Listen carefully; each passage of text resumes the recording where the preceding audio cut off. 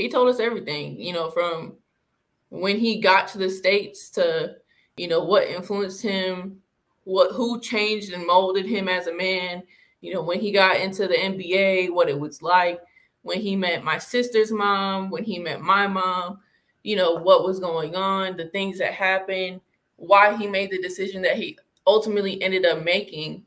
And I can see still to this day how much that like hurts him.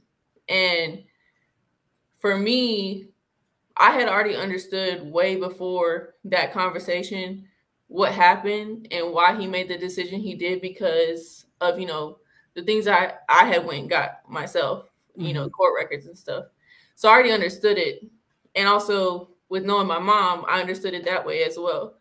Um, but when he said it, it was a relief for me because it was almost a release for him. Like I feel like he was finally releasing it from like holding him down or like, you know, being shackled. And I feel like that was kind of for both of us, like just get it out there. Let's move forward. Like this is our past, but we both understand like what we need to do moving forward to make sure like that doesn't happen anywhere down our line again.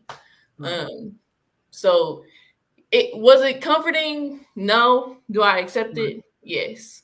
Like the facts are not comforting at all, but I definitely understand it.